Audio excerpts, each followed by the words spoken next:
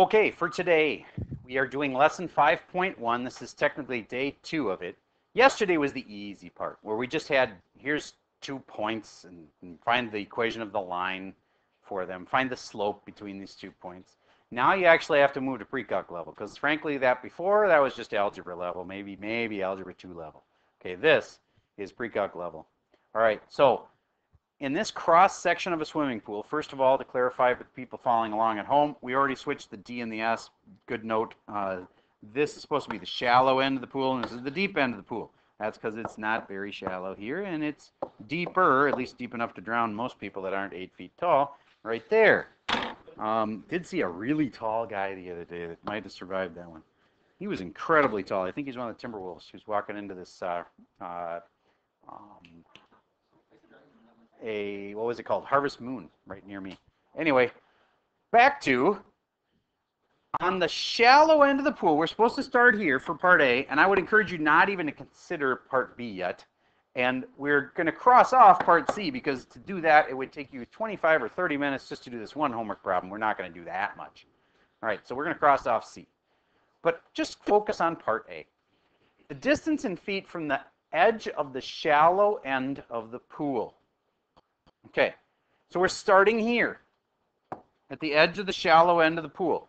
And then we're going to go here. Do you get that at the beginning, the distance is, the, sorry, the depth is consistent? It's just two feet deep. Do you get that's totally different that, than what happens in this little zone right here?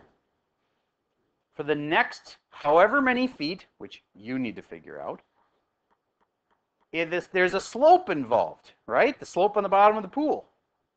Okay? And the depth gets deeper and deeper based on how far you go from the edge of the pool. Like from here, if you go over, like, let's say here, that'd be like 12 feet. Go at 12 feet, and, okay, as I went a little too far. Hold on. Um, that's not 12 feet. If that's 10 feet, then that maybe be like 12 feet. Okay, so that's 12 feet this way the depth is now changing. Do you get, I'm going to need a separate equation for this area. Could you shut the door for me? Thank you. And a separate equation for this area. And a separate equation for that area. Does that make sense to you? We need three separate equations. All right, this is the part where I want you to add a page to your document because you need a page to do the, the writing on this. You can't do this just squeezing it in. There's no way. This is a complicated answer. So add a page, please, right now. So after this page, you'll have a blank page. So I'm going to make a blank page right there. And part A has got three equations. But they're all the depth. The depth is equal to three different things depending on where you are. It said to make a piecewise function. See, the piecewise function is defined for these three functions are what makes up my depth, because it depends where you are. Do you get it depends on the small d, the distance? This is depth. It depends on the small distance. If the distance is between what and what, we do our first equation. Help me with that part first. If the distance from the end of the pool is between what and what, Yes, sir. Yes, sir. Just say it. Mr. J, yes.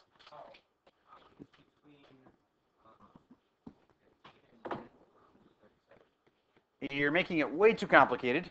The distance from the end of the pool for the first equation, it starts at a distance of zero from the end of the pool, meaning you are at the end of the pool, and it goes, so it's between what and what? Zero and 10. Okay, so everybody, here is your first part of your piecewise equation. Is your first equation is going to be between 0 and 10 feet. Got the next part? Nope, nope. I get what you're saying. We could take d sub s or something complicated. But for right now, part A is only asking about the distance from the shallow end of the pool. So it's between 0 and 10 feet. Yes, sir. Yes. I am writing out the answer for you in piecewise notation because that's what it said in the problem. And I'm just reminding you how piecewise looks. All right, the next part is between something and something. Come on, help me out. Between 10 feet and 22 feet. And technically, we can't be equal to these. Now, you could argue about whether it's whether it actually is at 10 on the first equation versus the second equation, but just go with me on this. And the last one, what's the last equation go from? From 22 feet to 37 feet. So from 22 to 37. You get that I've just divided up my three equations, and again, I get to pick which one gets 22. Maybe I'll say this one gets 22 instead of this one up here. And then it definitely, the only thing that can own the last one is the, the third equation. So there we go. Do you get I have three equations? This is the equation for the beginning. This is the equation for the middle where the slope is changing a lot. And this is the equation for the end. All right, that's the setup for this problem. Now, the do you get that at the beginning the distance really doesn't matter because it's just always 2? How would I write an equation for that? d equals what? If I just say 2, I'm missing some information. I'm not telling them about the slope there. So why don't we just add in one little dumb thing? What would make it have a, yes? Yes, an x, but you, if you just put an x, you're going to say that the slope is 1 right there. How about 0x? There we go. Plus 2. That's a good way to start. Now, one thing I want to clarify. I think that the uh, key, by the way, when you look at this later, because you're going to want to check yourself at the end, um, and I'm not going to help you with this whole problem. The key does this where the depth is negative, and so it says that that's a minus 2. I disagree because I don't think you ever say, well, I was at depth negative 2 in the pool. No, you weren't. You were 2 feet in the pool. And the other argument is that distances aren't negative. Distances are, as distance there is, is 0, so it's a distance down. So I just think that the teacher did it backwards on the key. So just be aware, they're going to use a negative. I'm not. All right, so then do you get this next part? The distance does depend, so the slope is not zero. See what I'm saying? So it's going to be very similar, except slope is not zero. But I'm going to warn you, almost everybody is going to mess up this equation because they think, oh, it's just this and this. Zip, zip, done. When you actually test a point, like test a point at 12 feet, you're over 12 feet from the wall. Your depth should be just a little deeper than two feet, like maybe three feet. If you test a point like that at 12 feet, when you stick in distance 12, remember this is distances. If you stick in distance d equals 12, you should be at like three feet. You shouldn't be at eight feet. A lot of you are going to make an equation that doesn't really work. I'm going to see if you can figure out from that little tip of test a dist depth distance from the wall of 12 feet, you should be at about three feet deep. Why are a lot of people's equations going to be messed up? All right, so I'd like you to figure out this equation right here and right here. It may take you a minute or two to get in the groove of working with the other person, but try to find those two equations and make sure they actually work. Like stick in a distance of, I don't know, 23 feet and see if it actually is at the depth it should be, if your equation really works. Yes? I get what you're saying. You just need your slope to get bigger and bigger, right? I have to let you figure out whether you want that to be negative or positive. You have to figure that out. Yes? Yep. Please do not say an answer. Okay, good.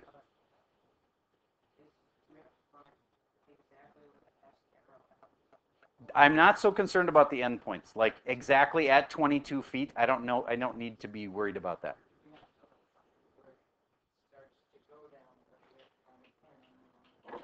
I need an equation right here. I'm not going to answer your question. I don't want to give away the answer here. So you need to write me an equation that involves x. You're not involved, oh wait, did they didn't use x, did they? We used d. Thank you. We should be using a d right here too. So use d in your equation for distance. All right, try to figure out these two. If you're a super advanced primate, you might be able to go to the next level. Like if you think you got these nailed and you've even tested distances and you know they're working, you are going to be doing part B together eventually. But don't even think about B until you feel awesome about A. I'll pause for a minute and let you guys work on this. All right, we're back, and I bet you there's somebody in here who can tell me, instead of me being the disseminator of all truth, why don't you tell me? What do you think? Yes, for this one right here. One half x. Is it in x minus 3 in parentheses or? All right, before you simplified it, can you tell me what it was? One half, and then there was some stuff. Can you tell me what it was before you simplified it? Uh, you're close. All right, so let me show you what I'm trying to say here. Uh, 1 half of x.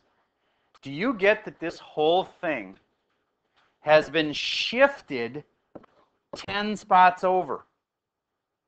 Because the new, the second graph doesn't have this 10 in it, so we have to shift it over 10. Okay, so if we go x minus 10, that's your shift. And then we still have the plus 2. Will that simplify down to what you said? Absolutely. Okay. I think it will. Let me double check that. So 1 half x. And by the way, where did the 1 half come from? Do you guys know it was 6 over 12? Rise over run. The rise was 6. The run was 12. Okay.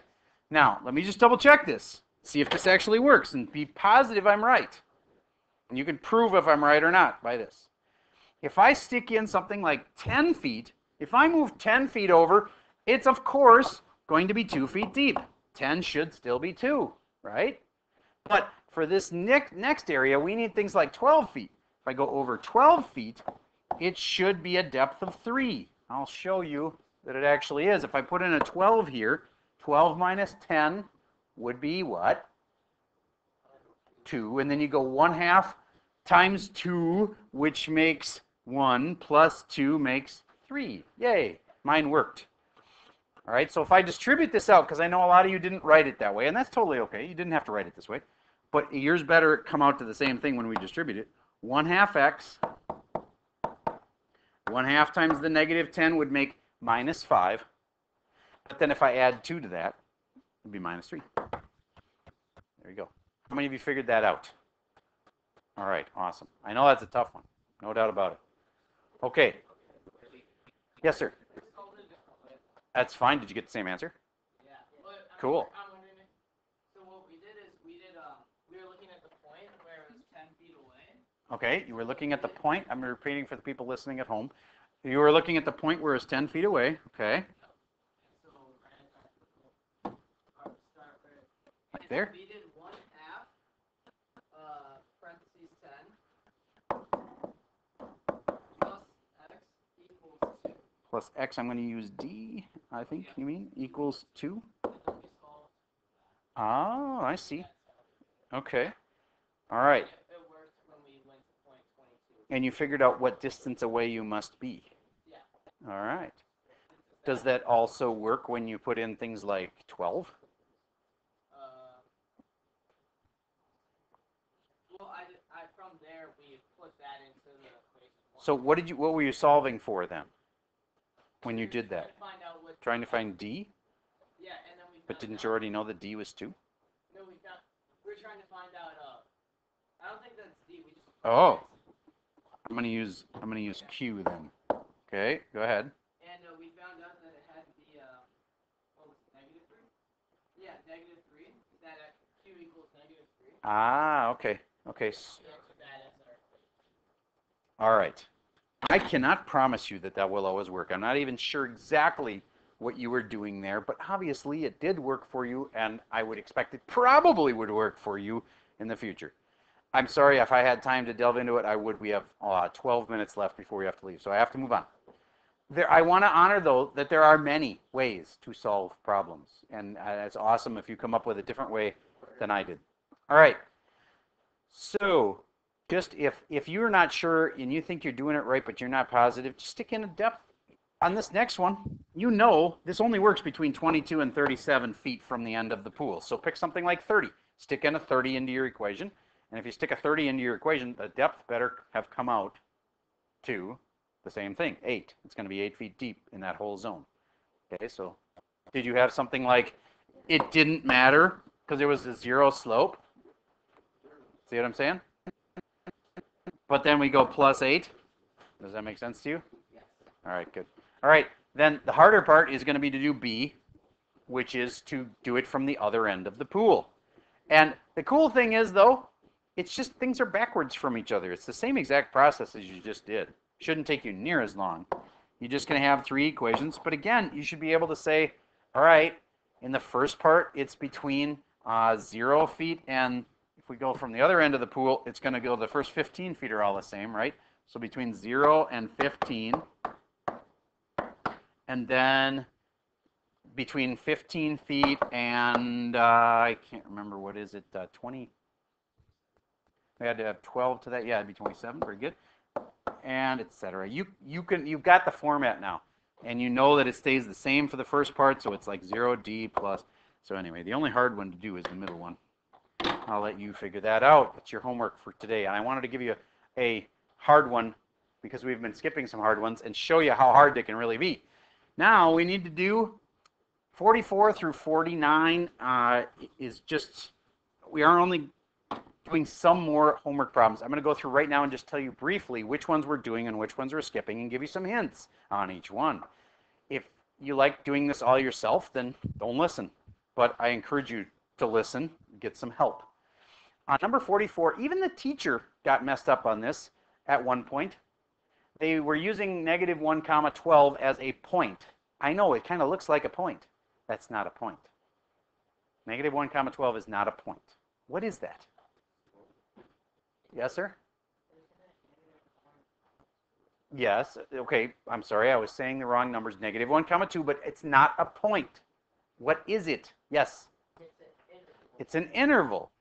Which means it's a little zone from here where x is negative 1 to here where x is 2. You know x to the third kind of looks like my black graph there, right? Okay, so what are they really asking? Are they giving me a point? No. They just gave me two points. Do you get how by giving me this is my x value, It's right here, I can figure it out by using this little formula to figure out what point that's at. And this is my other x value, it's 2. And I can use this little formula to figure out exactly what point that's at. Then do you get I now have two points? Once I have two points, it's easy to find slope. Okay, so for those of you that have been drifting, I have to find these two points, and I encourage you to write on, on your page like this that there's two points I need to find. They didn't tell me any of the points, but they told me the x values. So do you get this is negative 1, and I don't know what this is yet until I use the function to figure it out. And the other x value is 2, and I don't know this yet, and I can figure it out. And once I have those two points, it'll be easy to find the slope. Okay? All right. So this one, same exact thing. Let's just go right to the point thing. Something comma something. And they didn't give me the point 1 comma 5. They gave me a range from 1 to 5. So the x is 1 and the x is 5. And you have to figure out what the other points are by using this function that's given. If you want to make a little sketch of it so you can kind of see what's going on, here's where x is 1, and there's a dot like there. Here's where x is 5. So there's a dot like down here, and it's the slope between those two points. So you once you know what the two points are, it's easy to find the slope. Okay, that's the ideas for the next few. Uh, and you do you are required to do 44, 45, 46, and 49. They are all very similar to each other. They all are giving you two points just in an unusual way. Okay, then uh, number 56, it looks really scary, but it's not. It's an actually a pretty easy question. By giving you the big T, which they define as temperature is big T, and the little t is inside there, it's kind of like where x usually is, or for f of x. The little t is time, t hours after 6 a.m. This is time, this is temp, and this is time. Then when they give you a big T of 4, did they give you a time or did they give you a temperature? They give you a time, and they just want you to figure out what the temperature was. So you stick the time in here and here, and you can use the graphing calculator for that if you want to, or you can just grind it out by hand if you want to, and you can find those three times. Then, when they do this, notice this is an interval again, so they're giving you effectively two points, four comma something and eight comma something, which you already figured out back here. All right, so it really isn't nearly as scary as it seems. On these next few slides, everybody go to 59, circle problem 59. Quickly, please. Circle problem 59, you can skip the rest on that page. Circle problem 65, you can skip the rest on that page. Then for the AP and HL problems, I want you to do the two that are on this page. They're actually, this, these are way easy. Like, look, I know a point, I know another point, I know two points. I could find the equation for that then. Two points are given. They just give you the two points in a funky way. But otherwise, they're just giving you two points. So it's kind of like a review of yesterday. That's why that's a good one. Number 10 is only is not for the faint at heart. It is a challenge question only. Okay, so don't if you don't have time, you won't be able to do 10. All right. So I have told you which ones to do. This is a tough assignment, but I did give you a bunch of time to work through the toughest part, and the rest of them that I'm giving you really aren't that bad. So get them done. That's all I have for you for today.